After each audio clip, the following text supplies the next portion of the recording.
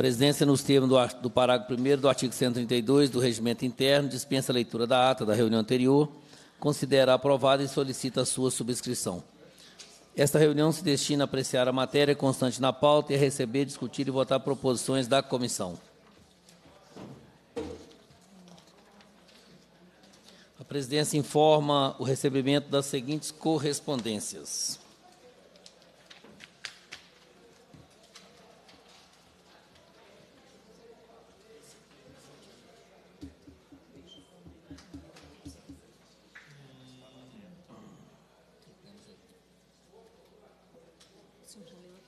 Ainda não tem correspondência? É só isso. Só isso aqui?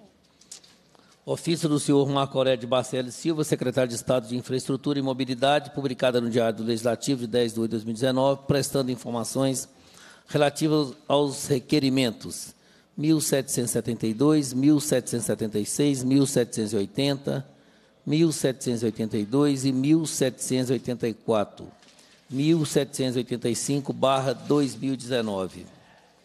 Passa-se a fase, a primeira fase da ordem do dia, que compreende discussão e votação de pareceres sobre proposição sujeitas à apreciação do plenário. É. Discussão e votação de parecer sobre as proposições sujeitas à apreciação do plenário. Projeto de Lei 5.439, 2018, em segundo turno, dispõe sobre a desafetação do trecho de rodovia que especifica e autoriza o Poder Executivo a doá-la ao município de Paracatu, de autoria do deputado Inácio Franco. Cadê o relator? Cadê o. Vai pedir alguém para ler? A presidência avoca para si a relatoria da matéria e passa a emitir o parecer. De autoria do deputado Inácio Franco, o projeto de lei em epígrafe dispõe sobre a desafetação do trecho de rodovia que especifica e autoriza o Poder Executivo a doá-lo ao município de Paracatu. Aprovado em primeiro turno na forma original, a proposição retorna a este órgão colegiado para dele receber parecer para o segundo turno, conforme dispõe o artigo 189, combinado com o artigo 102 do Regimento Interno. O projeto de lei determina a desafetação do trecho da rodovia MG 2605, compreendido entre o entroncamento da- com a rodovia MG 188 e o entroncamento com a Avenida Bias Fortes, com a extensão de 2 quilômetros, e autoriza o Poder Executivo a doar a esse município a área correspondente a esse trecho rodoviário, a fim de que passe a integrar perímetro urbano de Paracatu como via urbana. As comissões que analisaram a proposição em primeiro turno opinaram favoravelmente a sua tramitação, conforme o texto apresentado pelo deputado autor. Os órgãos responsáveis pelo setor rodoviário do Estado e a então Secretaria de Transporte e Obras Públicas e o Departamento de Estrada de Rodagens, consultados em diligência a pedido desta comissão, manifestaram-se também favoravelmente, visto que o trecho rodoviário possui características urbanas. Como não houve fato novo desde nossa manifestação em primeiro turno, reiteramos nosso entendimento de que a proposição possui caráter autorizativo e lega a discricionariedade do Poder Executivo a efetivar a doação pretendida. Outro sim, reforçando que a transferência de domínio não implicará alteração na natureza jurídica do trecho rodoviário, de bem de uso comum do povo, que ele continuará como via de trânsito de pedestre e veículos, sob gestão municipal e que a política pública estadual de transporte não será impactada. Em face do exposto, opinamos pela aprovação do projeto de lei número 5.439, 2018, no segundo turno, na forma apresentada, de autoria do deputado Inácio Franco. Em discussão. Em discussão, o parecer. É, os, os deputados que aprovam permaneçam como se encontram. Se essa discussão, né, os deputados que aprovam permaneçam como se encontram. Aprovado o parecer sobre a, as emendas? Não, não. Aprovado o parecer.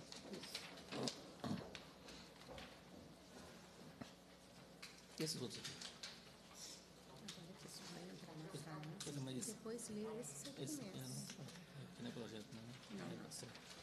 Passa a segunda fase da ordem do dia, que compreende a discussão e a votação de proposições que dispensa apreciação de plenário.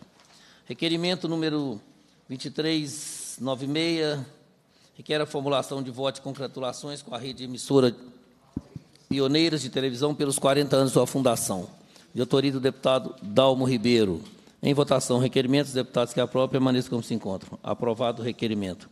Requerimento 2405, 2019, requer seja encaminhado à MRS pedido de providência para auxiliar a Associação Locomotiva Zezé Leone na restauração da, da locomotiva Zezé Leone e dos carros de passageiros que hoje estão estacionados na estação de Santos Dumont. E para, após a referida restauração, conceder permissão de uso do trecho de 17 quilômetros entre Santos Dumont e Cabangu, para operação do trem turístico nos finais de semana e feriados. De autoria da Comissão Extraordinária Pro Ferrovias Mineiras. Em votação, requerimento. Os deputados que aprovam permaneçam como se encontram. Aprovado o requerimento.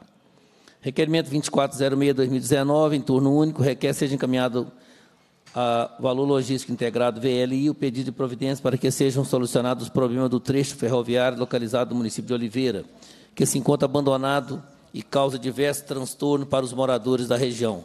De autoria da Comissão Extraordinária Pro Ferrovias Mineiras.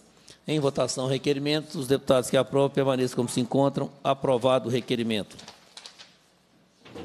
Requerimento 2408, 2019, em turno único, requer que seja encaminhado ao DENIT pedido de providência para que sejam cedidos três ou quatro carros de passageiros que estão no quarto depósito em Santos Dumont para, que, para a utilização da Associação Locomotivas Zezé Leone, de autoria da Comissão Extraordinária Pro Ferrovias. Em votação, requerimentos. Os deputados que aprovam permaneçam como se encontram. Aprovado o requerimento. Passa-se a terceira fase do dia, que compreende recebimento, a discussão e a votação de proposições da comissão. Sobre a mesa.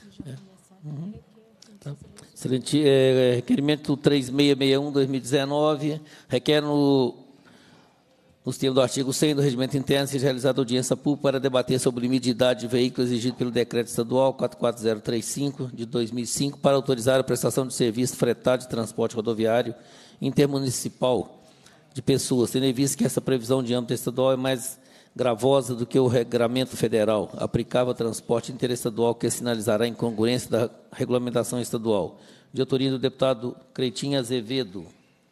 Em votação, requerimentos, deputados que aprovam permaneçam como se encontram. Aprovado o requerimento. Requerimento 3848 requer os termos do artigo 100, o regimento interno seja encaminhado a Claro, em Belo Horizonte, pedido de providência para a solução das oscilações que vêm ocorrendo na telefonia móvel no município de Rio Preto, bem como para procederem com a implantação do serviço 4G no referido município, de autoria do deputado Léo Portela. Em, em votação, requerimentos, deputados que aprovam permaneçam como se encontram. Aprovado o requerimento.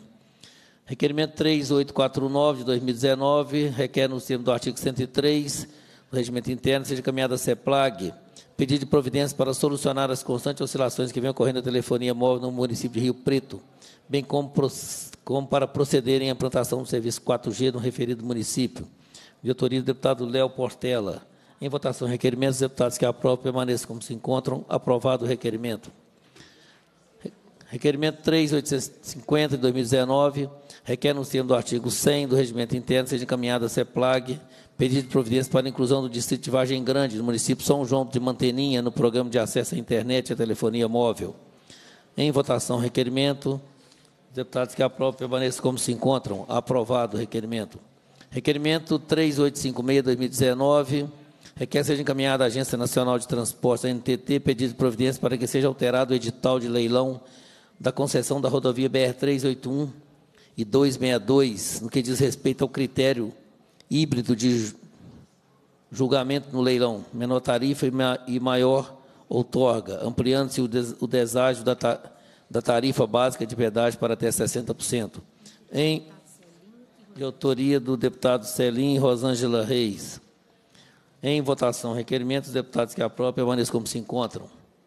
Aprovado o requerimento. Requerimento 3857 é, requer, nos termos do artigo 103 do Regimento Interno, seja encaminhado ao diretor-presidente da empresa de planejamento e logística, pedido de informações sobre a solução elaborada pela empresa no âmbito dos estudos para a duplicação da BR-381, para que a permitir que as obras de duplicação não prejudiquem o fornecimento de gás natural para a região do Vale do Aço, de autoria do deputado Celim Citrocel e deputada Rosângela Reis. Em votação, requerimentos. Os deputados que aprovam permaneçam como se encontram. Aprovado. Requerimento 3859 requer que seja solicitada a gerência de taquigrafia. Requerimento 3864 requer que seja, sendo do artigo 103, seja encaminhada à Agência Nacional de Transporte NTT pedido de providência para viabilizar os estudos técnicos e modelagem econômico-financeiro da decisão de se criar dois ciclos de duplicação e o anteprojeto de engenharia, considerado para a proposta de concessão das rodovias BR 381-262. Deputado Celinho Citrocel e deputada Rosângela Reis. Em votação, requerimentos. Deputados que aprovam permaneçam como se encontram. Aprovado o requerimento. Requerimento 3863 requer, nos termos do artigo é, regimentais, sejam encaminhadas as notas taquigráficas da oitava reunião ordinária desta comissão, realizada em 23 de 8 de 2019 em Ipatinga, para a Agência Nacional de Transporte Terrestre em Brasília, para conhecimento. De autoria do deputado Celinho Cidrocel e Rosângela Reis. Em votação, requerimentos. Os deputados que aprovam permaneçam como se encontram. Aprovado o requerimento. Requerimento 3862 requer nos artigos 103 seja encaminhado ao diretor-geral da NTT é, estudo sobre a viabilidade para a concessão da rodovia BR 262-381, disponibilizadas ao público meio de audiência pública, qual anteprojeto foi utilizado como referência para ampliação da capacidade de trechos rodoviários. Anteprojeto DENIT, ou da, ou da empresa Alberto Santana, porque não foi disponibilizado entre os documentos da audiência pública. Anteprojeto utilizado para modelagem da concessão do anexo 3, que não foi incluída a variante Santa Bárbara na modelagem da concessão. Qual documento ou estudo embasou a criação de dois ciclos de duplicação do sistema rodoviário em questão, visto que os estudos de engenharia e econômico disponibilizados prevê a duplicação total da rodovia entre o trecho entre o terceiro e o final do sétimo ano. Qual o valor do pedágio calculado por quilômetro do sistema rodoviário em questão comparado ao valor médio do quilômetro de pedágio nas rodovias brasileiras? Porque a audiência pública foi lançada quase um ano após a conclusão dos estudos que embasaram se o órgão não considera que isso torna os estudos defasados para fins de concessão dos citados trechos. Quais seriam os valores de pedágio calculados caso seja prevista a duplicação total do trecho rodoviário do terceiro ao sétimo ano, como tal previsto os estudos de engenharia disponibilizados, tendo em vista o alto valor do pedágio previsto, porque o órgão não reestruturou uma modelagem de parceria público-privada. Quanto a prestações da União à concessionária, de forma a reduzir valor das tarifas de pedágio, de autoria do, do deputado Celino Citocel e da deputada Rosângela Reis. Em votação, requerimento, os deputados que aprovam permaneçam como se encontra aprovado. O requerimento. Requerimento 3860, requer, nos termos do artigo 103, seja encaminhada à NTT pedido de providência para analisar o atual processo de concessão da rodovia BR 381 e 262, Minas Espírito Santo e, em substituição, estruturar a modelagem de parceria público-privada para os mesmos trechos rodoviários em, com conta prestações financeiras mensais da União, a futura concessionária, de forma a se reduzir substancialmente as tarifas de pedágio. De autoria do deputado Celim Citrocel. Em votação, requerimento. Os deputados que aprovam permaneçam como se encontram. Aprovado o requerimento.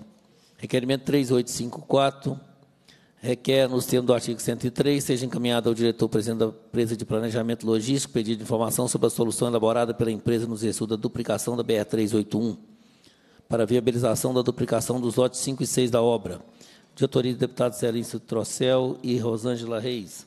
Em votação, requerimentos, deputados que aprovam, permaneçam como se encontra. Aprovado o requerimento. Isso aqui não tem número. Isso não tem número. Não tem número. Excelentíssimo senhor presidente, o deputado que estiver nos termos, do, nos termos regimentais seja encaminhado à Agência Nacional de Transporte, nome da audiência pública 10 de 2019, o relatório da oitava reunião extraordinária da comissão como contribuição ao aperfeiçoamento do processo de concessão da BR 381 e 262, do deputado Celim Citrocel. Em votação, requerimentos, deputados que aprovam permaneçam como se encontram. Aprovado o requerimento. Aqui é só para receber, não? Não, esses aqui também são para votar. Ah, são para votar? Ah, tá. Requerimento é 3405, É, requer, no termo do artigo 103, seja encaminhado ao secretário, Secretaria de Estado, Planejamento CEPLAG, pedido de providência para que as comunidades do patrimônio e Lagoa Palmeiras, no município São José do Goiabal, tenham acesso à internet e telefonia móvel através do programa Alô Minas, de autoria do deputado Celim Citrocel. Em votação, requerimentos, deputados que aprovam, permaneçam como se encontram, aprovado. Requerimento 3420, requer, no termo do artigo 100, seja encaminhado ao diretor-geral do Departamento de Estado de Rodagem, pedido de informações sobre o custo de manutenção da LMG 679, valor previsto para manutenção dessa rodovia para o ano 2019, referente ao trecho rodoviário que liga o município de Francisco Dumont, município de Claro das, dos Poções. Em votação, requerimentos, os deputados que aprovam permaneçam como se encontra. Aprovado o requerimento de autoria do, do, do deputado Zé Reis. Comissão, é, requerimento 3421, requer, nos termos do artigo 100 do Regimento Interno, seja encaminhado ao diretor-geral do Departamento de Estado de Rodagens, pedido de informações sobre o custo de manutenção da LMG 656, o valor previsto para a manutenção dessa rodovia para o ano de 2019, trecho que liga o município de Lagoa dos Patos ao entroncamento da LMG 674, de autoria do deputado Zé Reis. Em votação, requerimento, os deputados que aprovam permaneçam como se encontram. Aprovado o requerimento. Requerimento 3422, nos requer nos termos do artigo 100 do Regimento Interno, seja encaminhado ao Departamento de Estado de Rodagens, pedido de informações sobre o custo de manutenção da MGC 479, valor previsto para manutenção para o ano de 2019, referente ao trecho de Januário ao município de Chapada Gaúcha, do autoria do deputado Zé Reis. Em votação, requerimento. Os deputados que aprovam, permaneçam como se encontra. Aprovado requerimento. Requerimento 3423, requer no termo do artigo 100 do regimento, seja encaminhado ao diretor-geral, Departamento de Estado de Rodagens, em Belo Horizonte, pedido de informações sobre o custo de manutenção da MG 202 e valor previsto para a manutenção dessa rodovia para o ano 2019. Trecho que liga o município de Ubaí ao município de Ponto Chique, de autoria do deputado Zé Reis. Em votação, requerimentos, deputados que aprovam permaneçam como se encontram. Aprovado o requerimento. Requerimento 3424 requer, no selo do artigo 100, seja encaminhado à diretoria de infraestrutura, é, pedido de informação sobre o custo de manutenção da BR-135, valor previsto para o ano de 2019, referente ao trecho rodoviário que liga o município de Itacarambi ao município de Manga, de autoria do deputado Zé Reis. Em votação, requerimentos, deputados que aprovam permaneçam como se encontra. Aprovado o requerimento. Requerimento 3425 requer no termo do artigo 100 do Regimento Interno, seja encaminhado ao diretor-geral do Departamento de Estado de Rodagens, pedido de informação sobre o custo de manutenção da rodovia LMG 603 e o valor previsto para o ano 2019, para a manutenção do trecho que liga o município de Cônigo Marinho ao município de Manga, com aproximadamente 12 quilômetros, de autoria do deputado Zé Reis. Em votação, requerimento, os deputados que aprovam permaneçam como se encontra. Aprovado o requerimento. Requerimento 3440 requer, nos termos do artigo 100, seja encaminhado à Secretaria de Estado, CEPLAG, em Belo Horizonte, pedido de providência para que as comunidades Gene e Papinho, Santa Bárbara, Porfírios, no município de Catugi, tenham acesso à internet e à telefonia móvel através do programa Alô Minas, de autoria do deputado Celim Citrocel. Em votação, requerimentos, deputados que aprovam permaneçam como se encontra. Aprovado o requerimento. Requerimento 3444 requer, do artigo 100, seja realizada audiência pública para debater os reflexos da paralisação das obras de duplicação da rodovia BR-491 entre Varginha e Três Corações, de autoria do deputado Dalmo Ribeiro. Em votação, o requerimento, os deputados que aprovam permaneçam como se encontra. Aprovado o requerimento. Requerimento 3447, requer, no sendo do artigo 100, seja encaminhado à Secretaria de Estado, CEPLAG, pedido de providência para que o povoado suíço, no município de Caratinga, seja incorporado ao programa Aluminas, garantindo assim acesso à telefonia móvel e internet. Diretoria do deputado Celim Citrocel. Em votação, requerimento dos deputados que aprovam permaneçam como se encontram. Aprovado. Requerimento 3465 requer, no termo do artigo 100, seja encaminhado ao governador do Estado, pedido de informações sobre a quantidade de veículos locados utilizados pelo governo do Estado com as seguintes informações: levantamento de quantidade de veículos locados, discriminando qual órgão, secretaria estão alocados, discriminação do número de veículos locados por locadora, valor gasto anualmente com os contratos de locação discriminados, de autoria do deputado Cleitinho Azevedo. Em votação, requerimento. Deputados que aprovam, permaneçam como se encontra. Aprovado o requerimento. Requerimento 3.500, é, requer, nos termos do artigo 100, seja encaminhado ao secretário de Estado de Obras Públicas pedindo informações sobre as seguintes demandas relativas à ECOS 135. Qual montante arrecadado desde o início da cobrança de pedágio de BH a Montes Claros? Quais foram os municípios que receberam o recurso referente ao ISS? Quanto cada um recebeu? Quais as melhorias que foram feitas na BR-135? Do total de recursos arrecadados, quanto foi repassado a Minas Gerais? Do total de recursos repassados, onde foram aplicados? Quais as obras de intervenções programadas para o ano 2019? As contratações feitas pela ECO 135 são suficientes, uma vez que constata-se falta de cobrador nas cabines, gerando reclamações e denúncias dos motoristas. É, de autoria do deputado Carlos Pimenta. Em votação, requerimentos, deputados que aprovam permaneçam como se encontram. Aprovado o requerimento. Passa a direção dos trabalhos ao deputado Neilando Pimenta para votação de proposições de minha autoria.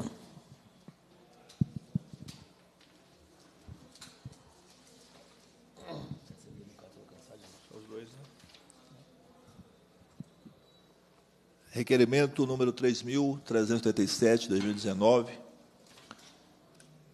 Deputado professor Eneu requer, nos termos do artigo 113, 103 do Regimento Interno, que seja encaminhado ao Departamento de Edificações, Estrada e Rodagem, DR, em Belo Horizonte, pedido de providências para que seja fiscalizada a prática de transporte clandestino que vem sendo ofertado livremente no terminal JK, no bairro Preto, região centro-sul da capital.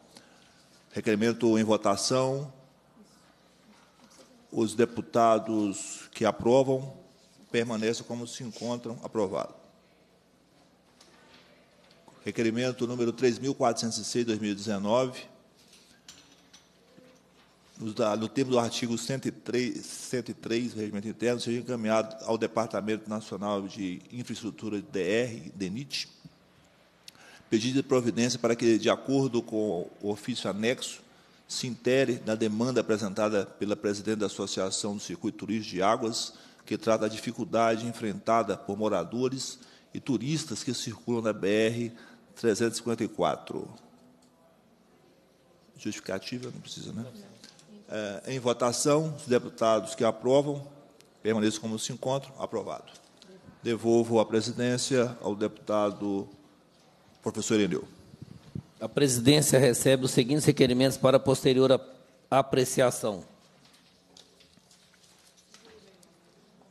Requerimento é 3677, é, requer, no sendo do artigo 100, combinado com o artigo 128, seja realizada audiência pública conjunta com a Comissão de Assuntos Municipais e Regionalização para debater soluções para os acidentes de trânsito que vem ocorrendo na rodovia MGC 367, entre os municípios de Diamantino e Couto Magalhães. deputado Marquinhos Lemos. Requerimento 3778, requer, no sendo do artigo 103, seja encaminhado ao diretor-geral da agência NTT, que quer desistir da concessão do BR-040 entre o Distrito Federal e Minas Gerais. E, em caso afirmativo, se expôs os motivos para essa decisão. Se a referida concessionária realizou na BR 040 investimentos condizentes com os valores cobrados nas praças de pedágio estipulados no contrato de concessão. E se os valores referentes aos investimentos estabelecidos em contrato, caso não tenha sido realizado, serão ressarcidos aos cofres pela concessionária. Diretoria deputado Douglas Melo. Requerimento 3623, requer no sendo do artigo 100, ser realizada audiência pública para o lançamento da Frente Parlamentar em Defesa da Engenharia, da Infraestrutura dos desenvolvimentos dos profissionais do setor, de autoria do deputado Celim Citrocel, da deputada Ana Paula Siqueira. Requerimento 3.590, requer no sendo do artigo 100, seja encaminhado ao DR, pedido de providência para obras de manutenção, recuperação e melhoria da pista de rolamento na MG 418, trecho que liga o município de Carlos Chaga ao distrito de Vila Pereira, de autoria do deputado Celim Citrocel. Requerimento 1455, requer no sendo do artigo 100, seja encaminhado ao DR, providência que viabiliza a desburocratização e celeridade nos cadastros dos veículos, vans de proprietários, microempreendedores individuais, MEI, tendo em vista a dificuldade desses trabalhadores para obtenção desse cadastro e registro perante a essa autarquia. Deputado Mauro Tramonte. Requerimento 3.628 requer, nos termos dos artigos regimentais, seja agendada reunião desta comissão para entrega do voto de congratulações à EPTV, emissoras pioneiras de televisão, na pessoa de seu gerente regional, o senhor Rafael Oliveira Gomes, oriundo de requerimento apresentado nesta casa pelos 40 anos de sua fundação, comemorado em outubro de 2019, de autoria do deputado Dalmo Ribeiro.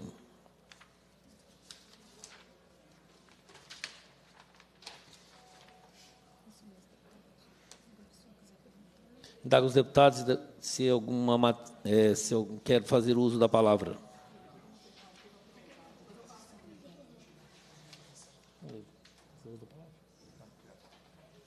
Cumprida a finalidade da reunião, a presidência agradece a presença dos parlamentares, convoca os membros da, para a próxima reunião ordinária, determina a lavratura da ata e encerra os trabalhos. Tenha todos uma boa tarde.